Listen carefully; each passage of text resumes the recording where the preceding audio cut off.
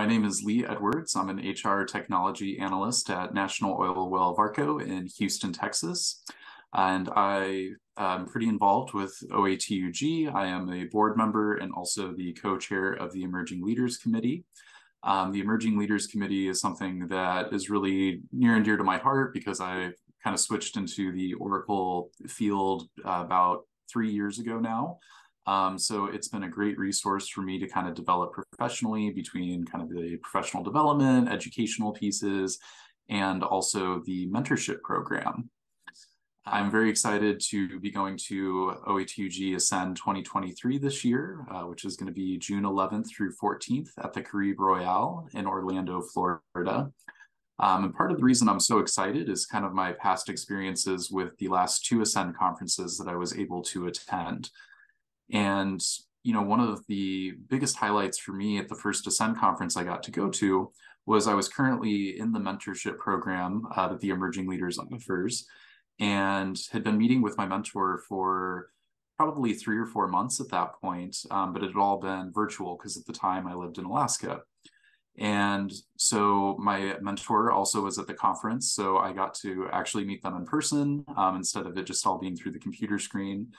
And, you know, it was, for one, a great experience because that was kind of once things were starting to reopen and whatnot again after COVID. So it was nice to actually get to meet someone in person that I uh, only kind of had that digital interaction with for the past few months. And, you know, just get to know them a little bit better. And so that was an absolutely wonderful experience getting to uh, meet my mentor at Ascend. It's just from an educational perspective, the conference is amazing, especially if uh, you're somewhat new. There's a lot of different educational tracks that Ascend offers.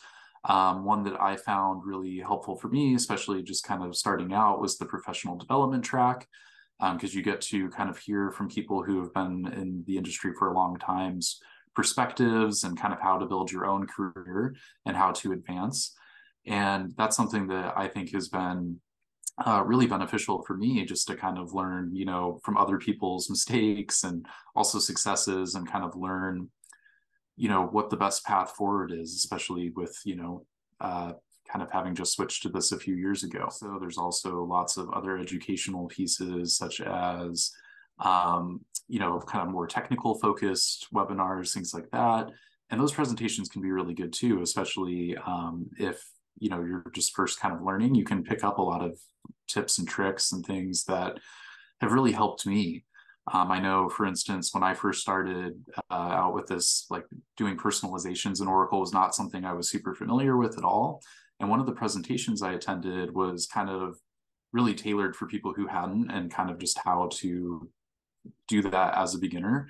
And that was something that I was able to immediately take back to my company and kind of start implementing within, you know, uh, our EBS platform that we were using.